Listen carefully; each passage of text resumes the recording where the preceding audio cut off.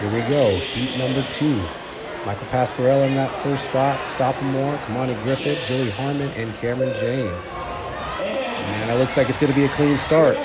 Kamani Griffin taking the lead now. Five laps to go. Pasquarella, Stoppamore, your top three. We're going to cross the timeline now. Four laps to go. Still holding strong. Kamani Griffin out in that top spot. Michael Pasquarella and Zach Stoppamore, your top three to qualify. Three laps to go now. Still Griffin out in front, but here comes Junior Pasquarella with a move into that top spot. Now two laps to go. Well, Stoppamore with a move now. Oh, and Cameron James makes his move as well. Top three to qualify.